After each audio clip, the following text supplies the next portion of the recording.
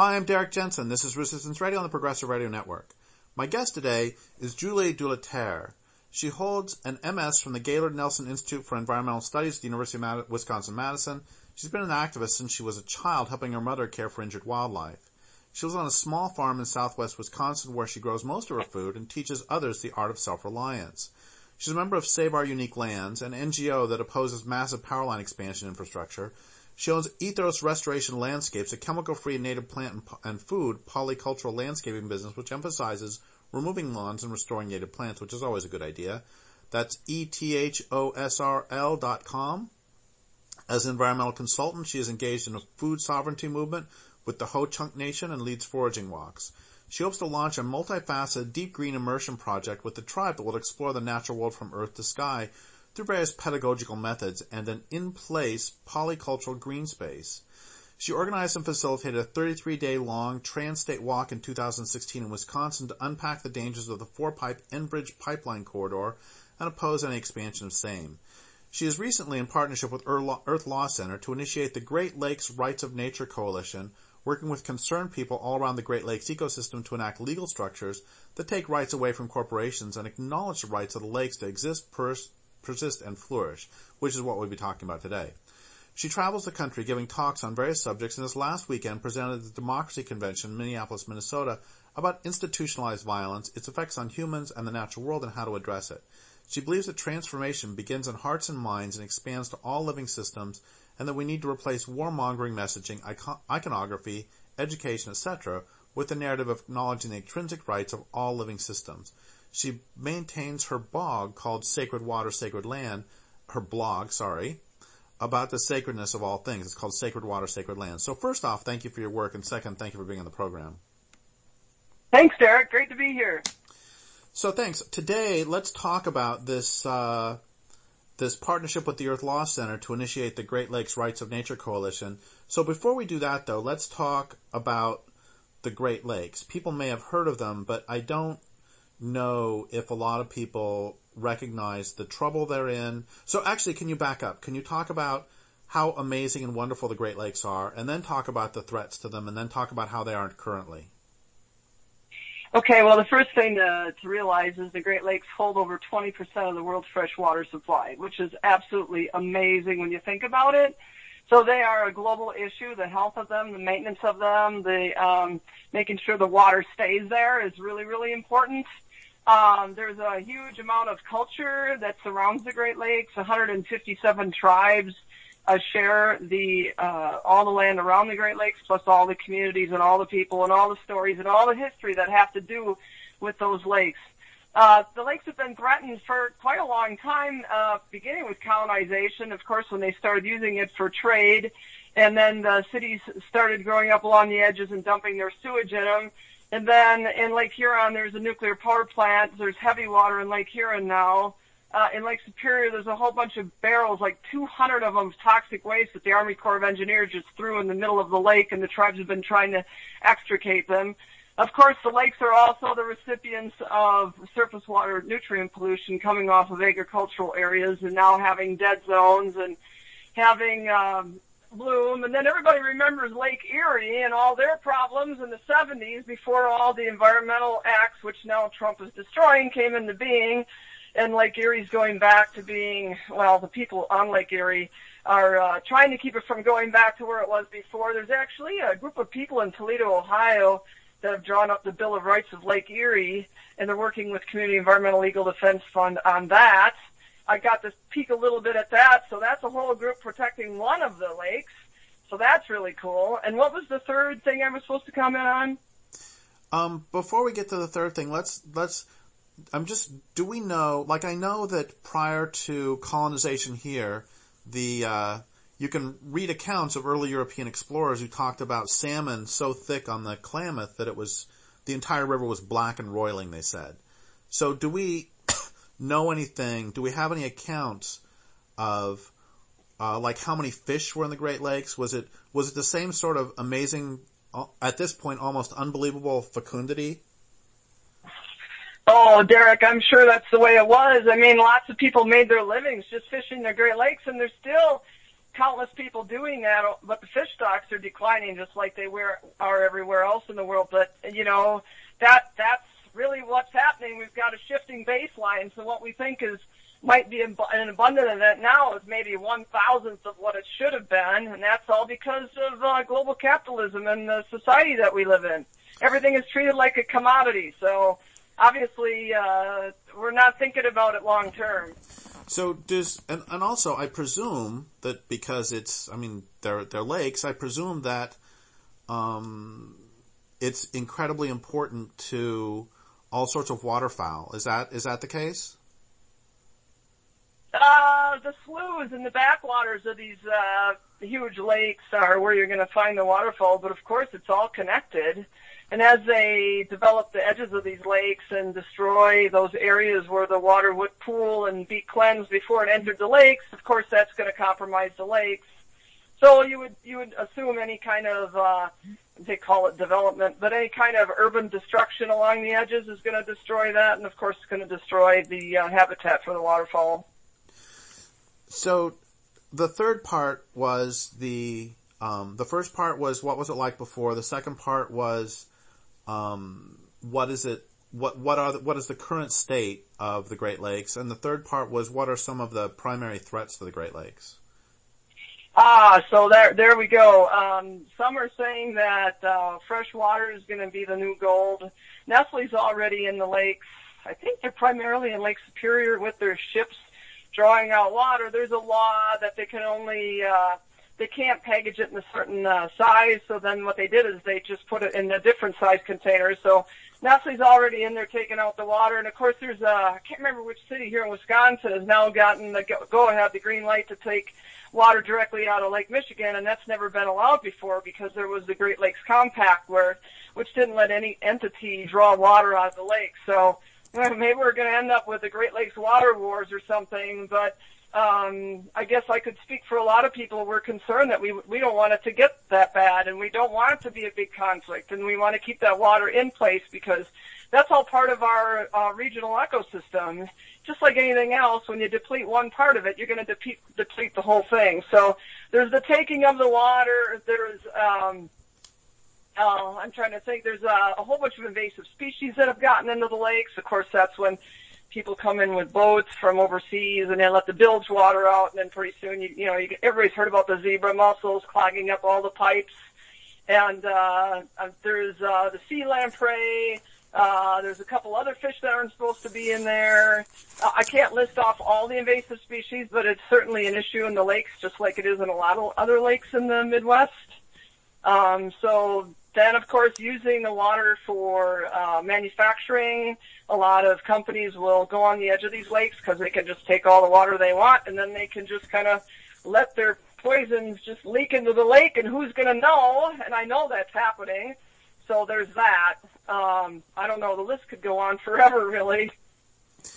And so let's let's move to the current campaign and you talked about Great Lakes Rights of Nature Coalition and, and what, what, what is the foundation for that? What is, what does all that mean? Okay. Um, way back in 2005, after they passed the UN uh, Declaration of Universal Human Rights, after that they passed in 2005 the Declaration for the Universal Rights, I don't know if I'm saying this correctly, of all living things, and out of that came the Rights of Nature movement, as I understand it, and several different organizations were formed at that point. Um, the one that I became the most familiar with is the Citizens Environmental Legal Defense Fund, and their organization is the one that was um, involved in the uh, Ecuadorian amendment to their constitution, Rights of Nature uh, amendment, and in Bolivia, and then um, uh, what's that other country? Was it New Zealand? Anyway, they've been all over the world. So I went to a couple of democracy schools and learned about how our Supreme Court has ruled many, many times in favor of corporations and not in favor of all living things. And once a, a person begins to know that, you realize we don't really live in a democracy and we don't live in a system that's going to actually preserve anything for the next seven generations. And that's only if you're concerned about human beings. I'm concerned about all living things, not just human beings. But anyway, um, that these legal structures that are written by these specialist lawyers that are uh, schooled in this have been enacted in uh, ordinances that have been enacted in over 150 places in the U.S. so far. And now there's a river out in Oregon, the Styglitz River is going to court on behalf of itself, and that was just within the last couple of weeks. So it's gaining momentum. Essentially, it's just legal language saying that the uh, natural, I shouldn't say natural entities, these non-humans have standing in court. Of course, a human will have to speak on their behalf, but they have standing in court. So what I did is got a hold of Earth Law Center and asked if they would like to enter into a partnership with Sacred Water, Sacred Land to try to protect the Great Lakes. And so we've been at it for a couple of months now, and it's kind of slow going. Um, not everybody, probably 95% of the population may not realize how little constitutional protections they have and nature has uh, under our current system. So uh, maybe you can ask me a little bit more specific question about how it works or something. Oh, sure. Um, so how? Well, let's what let's let's back up a little bit. What do you mean by a natural right for a non-human being? Are you so what what rights are you asserting that um, a lake has? A lake has a right to exist, persist, and flourish in all of its natural cycles and, and systems. That's how they would say it in the language. And I mean, it it just it's it seems absurd to me that we even have to make the argument that um, the Great Lakes have the right to exist.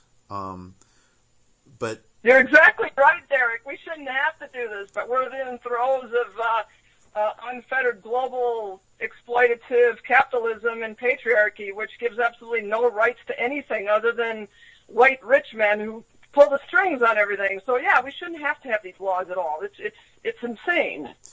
And it's it's also insane that that um, you know corporations, as as you and I both know, corporations have have rights are, are granted rights, I should say, and um, and uh, organizations. So, so organizations of these these rich men have rights, uh, whereas the real physical world doesn't. That's that's that's a that's always been a quite extraordinary thought for me.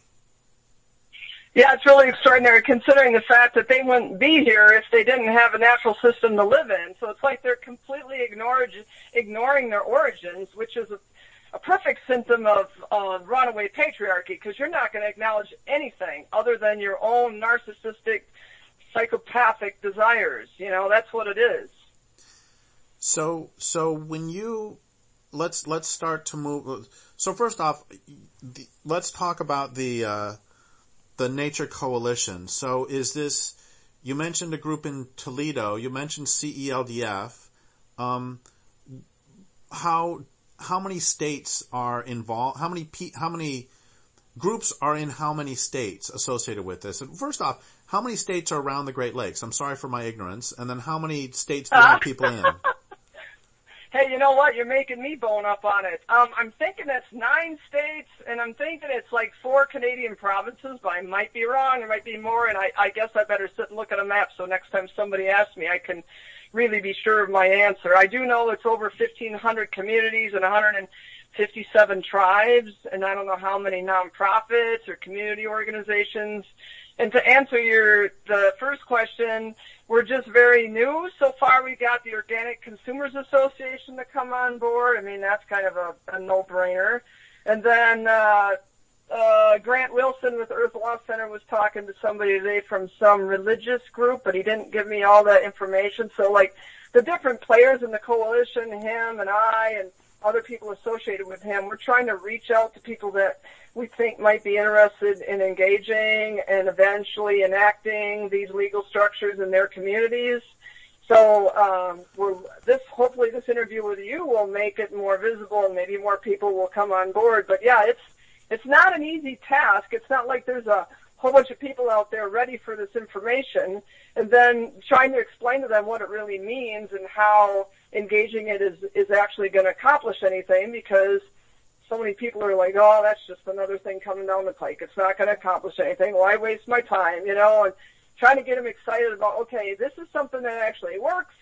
Uh, uh, things have gone, I mean, a river in Ecuador, the Vilcabamba River, one in court, and you got to like tell them and get them to like realize there's a whole different way of looking at legal structures and and and our society. I mean, it's almost like you got to kind of turn their whole reality upside down or something. So it's not just a campaign about what law can do. It's a, cam- a campaign about what they can do. It's a campaign about how they're connected with their nature. It's a campaign about, you know, thinking about the next generations. It's a campaign about interconnectivity. There's so many layers of significance that I feel like the campaign's more useful in, in the campaign itself than the actual legal structure at the end of it. Because you're having all this dialogue in between.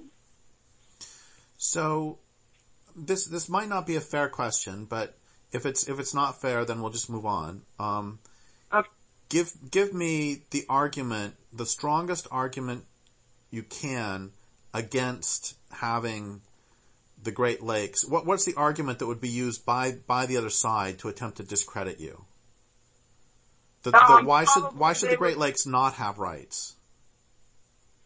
because it, depending on well any group that would argue it would be one that would be standing to uh, make money somehow off of the lakes not having this protection i would think it would be some sort of corporate entity and they would say well it's interfering with commerce which is the one the commerce clause is the one they always bring out to fight anything that takes away their profit and you know as well as i do is all corporations go in the court to say look look they took away our profit they didn't let us do that thing, and now we can't make a 18 gazillion dollars. Well, now you got to pay us the money that we would have made if you hadn't stopped us. So that would probably be the most important argument.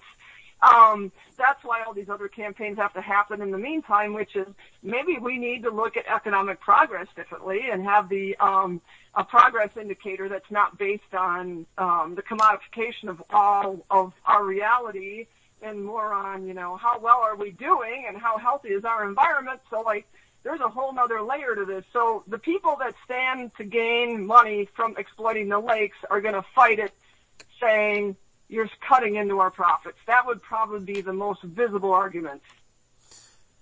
And they will also say that, uh, look at all the jobs that we're bringing in, and so basically you want all these families to starve. Right. So, like being part of the corporate monetary commodification system is our first enslavement, isn't it? So, until we can walk away from that enslavement, they're always going to use that argument. Which is one reason that you also work on food sovereignty issues, I believe. Yes, it is. I mean, uh, taking care of yourself is your first step towards independence, if, if not the most important step.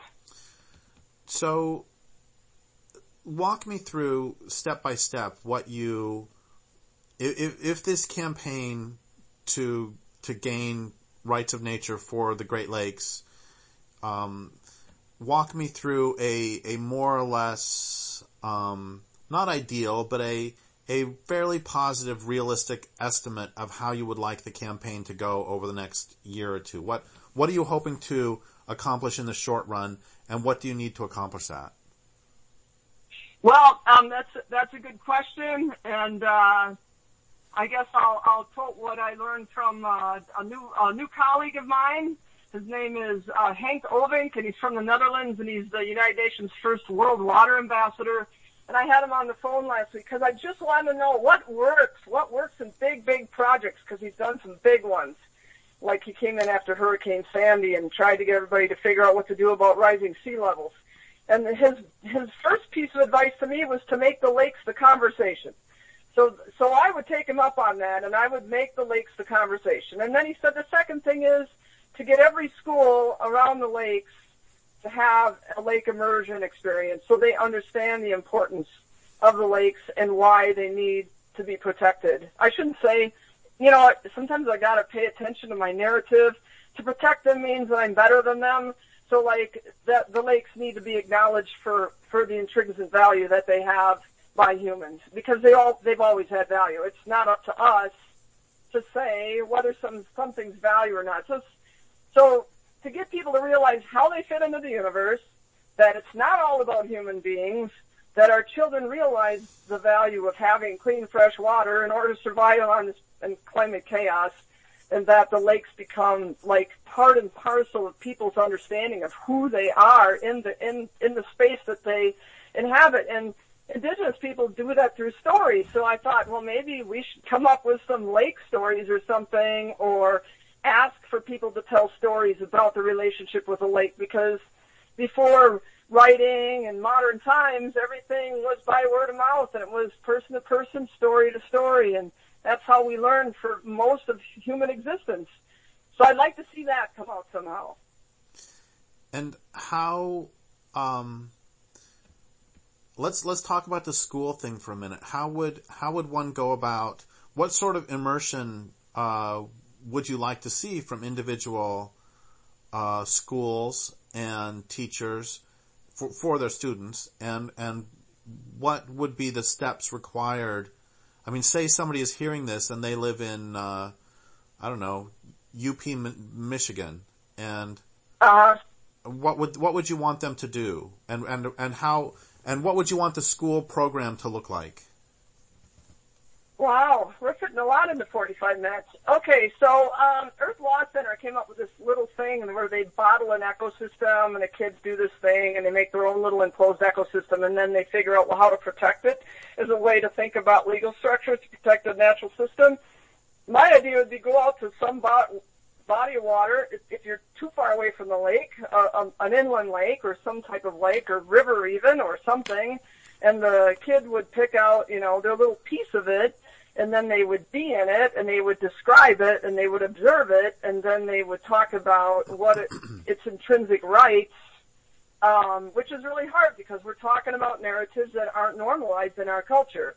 So the teacher would have to spend some time adjusting their pedagogy in class from one of treating all natural systems as objects to one as subjects and getting the kids to understand that that they're part of their ecosystem. And that would be maybe a whole new way of actually talking to their students. So that might have to be the first layer is, is getting them into that headspace. And then to enter in relationship with their little ecosystem, wherever that may be. It could even just be a single plant. But teaching by example and through story and narrative that we are all in relationship with with the entire planet and with all ecosystems. That's not what we're taught. So it would be kind of challenging for your average teacher to do this perhaps, especially if they have certain programs that they have to do in schools. So um, maybe it would have to be a program that would be an extracurricular program put on by a nonprofit where they would invite the students to come so the burden wouldn't be on the teachers to actually have to develop it. So I'm sorry I don't have a more fleshed out answer to that. I haven't written any curriculums yet. It's just I'm just talking about what we would be trying to accomplish and how how that might look. Well, I I remember specifically from um, fourth grade we we in at my elementary school went to a farm that was right next door to the school and um, we were given a tour of their barn so that we could see the barn owls and see all the you know when owls eat the mice and then they they vomit up the uh, little mouse pellet. Um, yeah. So we were shown those, and my point is that that is one of the few days I still remember from fourth grade, and wow. that it doesn't. So, so I, I think that these larger projects would be really great, but I think just simply getting children out of the classroom and, as you said, into, you know, some slough or into, and I, I remember another day in about that same time when my friend and I went for a long, long, long, long walk and we came across this pond we'd never seen before that was all full of frogs. And the point is, I oh, the, the, point is, I still remember that day. I can still remember the the pond. Unfortunately, was also full of. It was on a farm, and so it was all full of uh, like garbage from the farm. You know, the old tractors or whatever. But I still remember seeing the frogs just all over the pond, and I think at the very least, it's helpful to help children to gain those memories. Yeah, I think it's almost violent to not allow them to have them. Because look at how significant that was for you. And I, I'd have to say, Derrick, I I share the same sort of memories because um, all the running around I did with my brothers and my sister, and the, the deep memories were out in nature, whether we're just walking down the road or finding monarchs in the ditch or going down to the quarry or a pond or whatever. Those are very vivid memories for me. I remember walking down the road and there there was countless I call them monarch plants, not milkweeds because I don't like the word weed. And there was thousands, hundreds of thousands of monarchs everywhere. There's so much abundance. It's really sad that we've lost 50% of all of our animals in my lifetime. And then I was reading the other day 60% of the insects. This is craziness. This is nuts. This plant was so abundant and so amazing and so beautiful. And what do we get? We're trying to McDonaldize everything. All we have left is like an industrialized, burned out landscape with like five species of trees or something, and that's supposed to like feed our soul. You know, it's insane. So we've we've we've talked briefly. I agree with you. We've talked briefly about what schools might do. What what do you want? How else are you going to build this coalition? Who else are you going to reach out to? You mentioned a religious organization. Um, so just talk to me more about building this coalition and, and what you would hope All to right, well, happen. The, the first layer would be to, to reach out to everybody that says Great Lakes something or other, which is what I've been doing. And then reaching out to the tribes, which is a whole different ball game altogether because I'm not native. I'm a white woman. And of course, you know, they have a certain uh, understanding of what us white colonizers white colonizers think and do. So um, I have to probably mediate my message through um, some native person. I, I think we might have a young native woman on board who might mediate that message to the to the native community um, because they're not going to probably not going to give me the time of day. Um, but that's okay. We do it how we do it. And then uh, probably put on some events uh, and see who comes but it's early. We haven't written any. Well, there's a possible grant, but right now I put in two months of volunteer work. I'm not paid for any of this, so um, it'd be nice to actually have somebody pay for my gas when I'm running around. But often that's the case. The people that are doing the really, really important work, it's not the work of exploitation. It's the work of all living things, and there's not a lot of uh, monetary uh, gain to that. There's just the gain of knowing that you're doing something good. Uh, that will hopefully live beyond yourself. So, it, like I said, it's early. We're trying to reach out. I'm trying to go, me personally, I'm trying to go to conventions or reach out to people and network. The two lawyers, um, Grant Wilson and Art Helmus, are doing their own thing. They're all the way across on the other side of the country. I've never met them. They're out in California.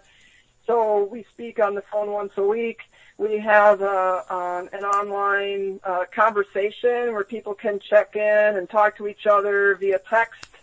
And we put that together, and so far nobody's really taken off with that. So um, some of the the difficulties with this sort of campaign is just communication because it's it's a huge area and it's a huge concept. And like uh, Einstein said, it takes a great mind to take a, a complex idea and make it so that anybody can understand it. And I think right now we're struggling with that. What does that look like? So we're trying to roll out a logo and a tagline, something that catches people. And I hate to say it, but I mean, we almost need to use um, market marketing uh, techniques because that's what people are accustomed to. Saul Alinsky said, use what the people are familiar with. So we want to roll out some sort of campaign that way. And so I can't really tell you. It's it's early. You caught us early on, um, and um, I'm hoping it uh, takes hold and, and builds exponentially because we really don't have a long time to do this. I mean, the Paris climate talks last year said we had uh, two decades to make some progress with this mess we've made of this planet. So every morning I wake up, I'm like, oh my God, you know, I better better keep going on this. Don't let it go. Work on it every day. And So- I'm one of millions of people thinking this, I'm sure.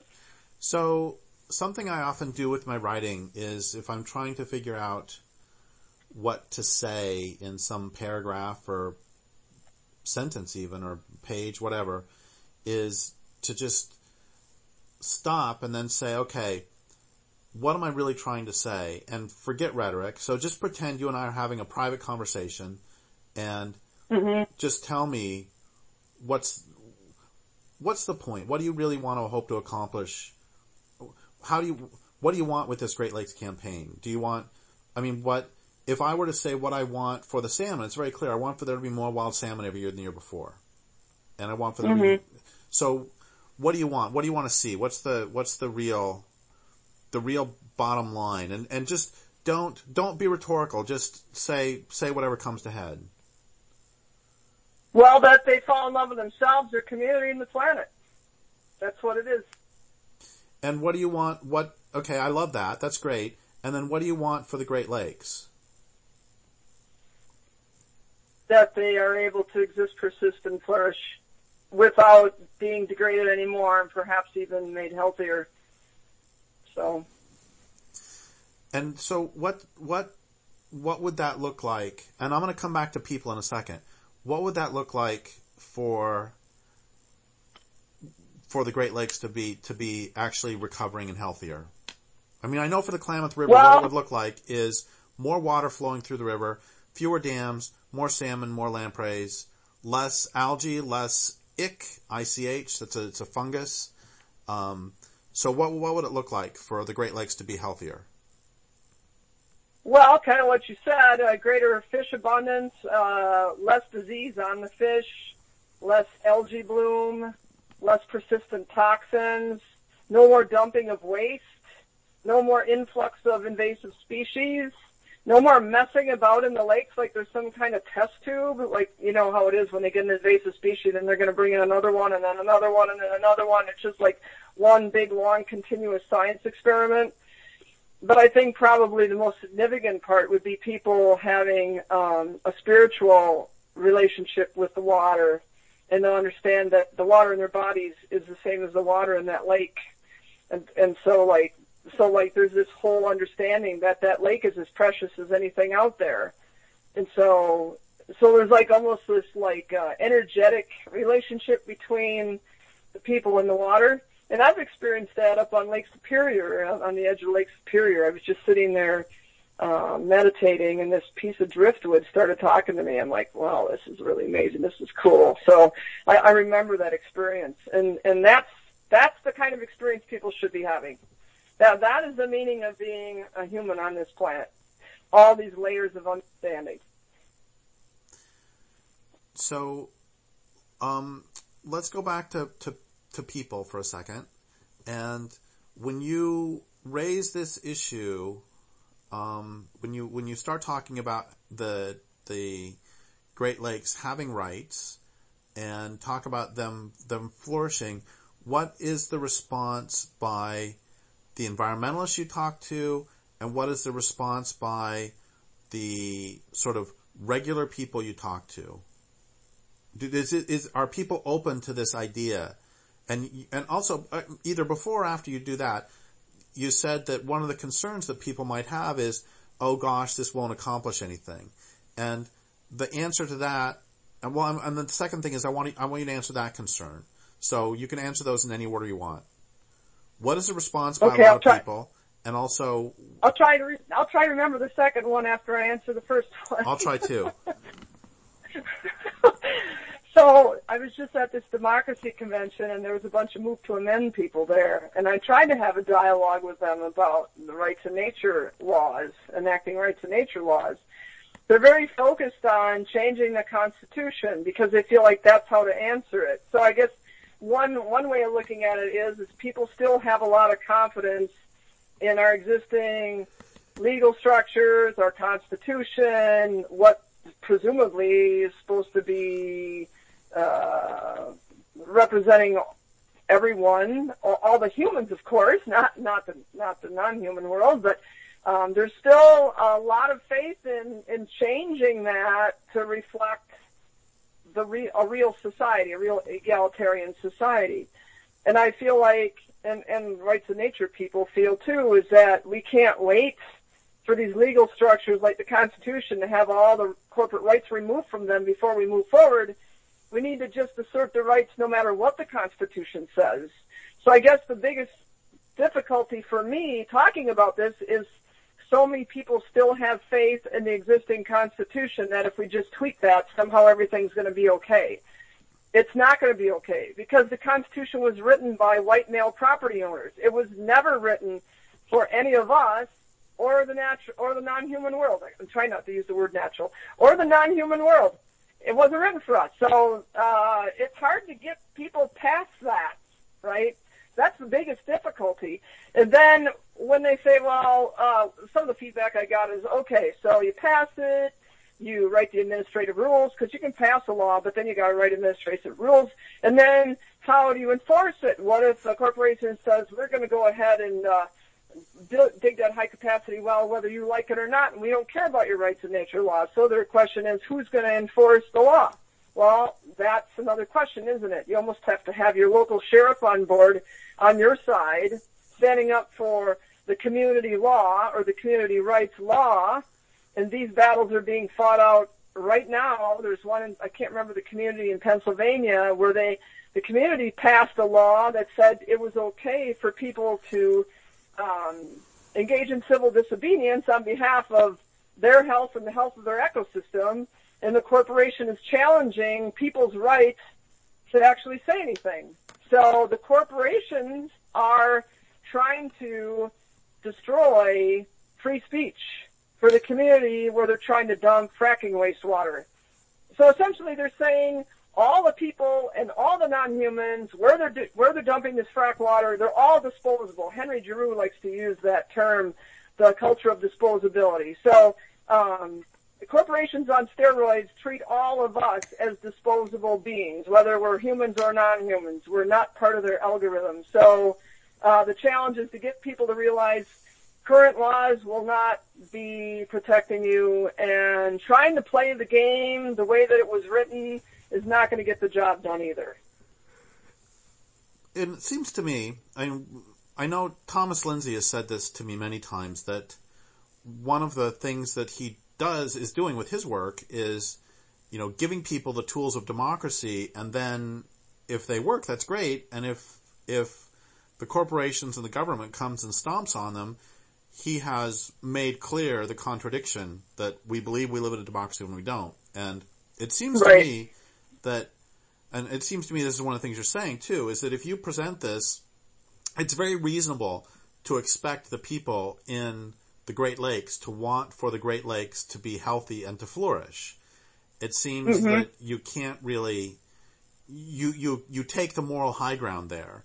And it's great, you know, if you present this, and then if the corporations come and argue, no, the Great Lakes don't have the right, or if the government argues, no, the Great Lakes don't have the right to flourish, that seems, yes, that's an overt power play and they, they may win in court, but it seems that's just a, a dreadful PR nightmare for them. I mean, it seems you, that's a great, as you said earlier, a great way to raise awareness about the health of the Great Lakes. Right, and like you said, what Thomas Linzey says, it's that um, that dichotomy in what we think we have as, in the way of rights and what when it comes right down to a lawsuit, we realize we don't. And so it's it's that dichotomy that he's playing on. But unfortunately, people don't realize that until they've ended up in the courts, and that takes what three, four years. And by that time, some egregious thing might have been happening in this precious space that they were very concerned about. And and one a lot of this damage, once it's done, like injecting frack water into into a deep well, you've contaminated an entire aquifer. Do we have three or four years to like adjudicate and look for damages? You can't return that aquifer back to the way it was before ever. And so that that's kind of the the difficulty. Well, not the difficulty, but that's the space of opportunity trying to get people to realize you don't want to go there. We don't want to let that happen. So I live in uh, southwestern Wisconsin on top of Karst, and we have beautiful water here. And my concern is we need to have protections here so that somebody doesn't swoop in and start taking our water just like they do other other places. And I don't want to wait till they're doing it before anybody does something about it. But unfortunately, that's the way a lot of these situations go. Is the damage is already done. So when you go, when you, that's a, that's a really good point. When you go to something like a democracy convention or you go to speak to other people, do you, uh, how much do you run into a problem of, um, what I call human supremacism, where people think that the entire world was created for humans and basically screw the Great Lakes if, if, if, if we can, or screw the aquifers, screw any of that, if, you know, if, if it's, if, if we can use it, there's, there's no, it's ridiculous that non-humans even have the right to exist. Is, is there, do you run into that very often or is that not a problem? Uh, it's typically not a problem in my circle, but I'm surrounded by a lot of conservative Christians where I live and yes, that, you got it, that's where they're at, but you know, I try to use stories and metaphor to talk to them. And uh, I would say something like, suppose your parents gave you a beautiful house that had everything you could ever want. It was it was just a luxury to live in, and you just took a jackhammer and a sledgehammer and you smashed it to bits and you burned it down. And then uh, what would your parents think about after they gave you that beautiful space to be?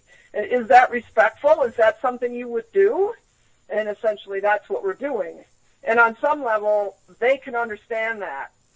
So I don't run into it, like you said, because I don't run in those circles, but when I do talk to people, I try to make it really simple to them. And I've actually had some pretty good conversations with the Amish around me because they don't understand climate change. Of course, they don't watch media and they don't really spend a lot of time uh, engaged in studying scientific papers or listening to climate scientists, but they they see a lot of what's going on and they're interested in changing. Of course, they have families of 15 to 19 kids, which is like one of the major problems. I don't think I could ever talk them out of that, but um, yeah, every audience is different. You know, I feel like I feel like as the paradigm shifts and we start to think about how all things have intrinsic rights, and that includes women, children, elderly, uh, LGBT, whatever, blacks, natives, whatever. Um, it's all one big picture. Uh, seriously, it's it's all one thing because it's whether we respect anything outside of ourselves. It's whether we have empathy or compassion for anything outside of ourselves. It could be a human or it could be a non-human. So I feel like we're just trying to shift a culture of extreme narcissism to one of compassion, empathy, and relationships. And so that's huge because this violent way of thinking is taught to children from a very young age and lots of your interviews talk about such things, so you know what I'm talking about. So how do we shift that? So I feel like rights of nature campaigns anywhere can be part of shifting public consciousness to what I'm talking about, to one of love instead of hate. So, um, what do you, and what, what you're saying makes a lot of sense, and what, what how, what sort of let's okay let's say that the coalition has been formed and you've got a fairly large group of people around the the uh, this this question of rights for the Great Lakes and what would be the next sort of tangible steps that would be taken to uh, protect aquifers, for example, or to protect the lake itself? Would would then would then this be moved forward in a lawsuit fashion? Would this be how? What, what would happen next? Do you know? Yes, um, I'm. I would, or I am imagining and sharing with the group a two kind of a two prong approach. It could be more than that, but at least two. One is education, and one is unrolling uh, legal structures. So boilerplate legal structures, examples of structures that municipalities could use, or a community could use, or a tribe could use. The language that actually ends up in court. So first. Uh, the community an opportunity to realize on a really deep level what it what it takes for their for themselves and their region to be healthy and flourishing, and the other is to what would legal protections actually look like. Getting together in a group, going through the motions of making an official action and passing the legislation, whether it be at a township level or a county level or a mun- municipal level. It could be a state level if we had any states in the United States that are willing to take it on. It's certainly not Wisconsin. Um, you know, and, and getting that language to them so they can see what it looks like. And then let them run with it. And then support them if they get sued. So I feel like that, that has to be a major piece. And then have a discussion about how to enforce the laws once they're enacted. So it's all, I think it all kind of rolls out in the discussion over time. And I'm kind of hoping that we get like like nodes of activity around the lakes where these discussions can happen. And like it's kind of a no-brainer to have one in like Flint, Michigan, or Chicago, or Milwaukee, or any of these big cities that are on the lakes. You'd think that'd be a great place to have a discussion like that and roll things out. But because the project's so huge, we need to find people in those areas that want to take it on and run with it within their own communities because that's their community. They should be doing the work in their community, and we just support them while they're doing it. So that really leads to the last question. We have a couple minutes left, and um, the last question is so for anybody who is in the Great Lakes region, especially, but outside of it too, but especially inside the Great Lakes region, um, and they want to uh, participate in this or they want to find out more information about it, what should they do? You know, if there is the person listening in Milwaukee who thinks that they might want to start that process in their community, what what do they do? Well, there's a Great Lakes Right to Nature Coalition on Facebook, or there's me or the Earth Law Center that they can contact. My email is my name, all one word at Gmail, so J U L I E E D E L A T E R R E at Gmail. So that's my personal email, and I can get them into the loop or they can get a hold of the people at Earth Law Center. Unfortunately, I don't have their email right in front of me right now. Uh, great people over there. So that would be what they can do. Well, thank you. Is there anything else you want to say about this before we before we sign off? Um, I guess what I'd say to everybody out there, just love each other, take care of yourselves, your community, and the planet because uh, we can't afford not to. Well, thank you so much for all that, and I would like to thank listeners for listening. My guest today has been Juliee de la Terre. Um, this is Resistance Radio, Derrick Jensen from Resistance Radio on the Progressive Radio Network. Thank you so much.